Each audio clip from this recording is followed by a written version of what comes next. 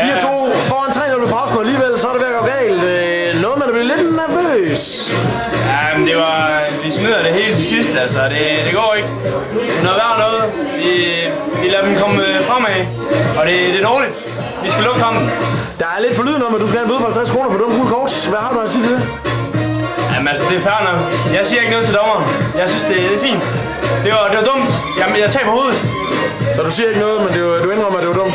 Jeg indrømmer, det var dumt. Meget dumt. Hvordan var det at se C4-2 vinde den der kamp, som var pænt vigtig? Altså, det var dejligt. Det var dejligt. Det er godt, det der. Det er mine nye underbukser. Var det derfor, du lader mig ude? Nej. Hvordan skal det fejres? Vi skal i byen. Og Vi skal fucking meget i byen, man! skal alle sammen. Bare nu, nu, nu, nu!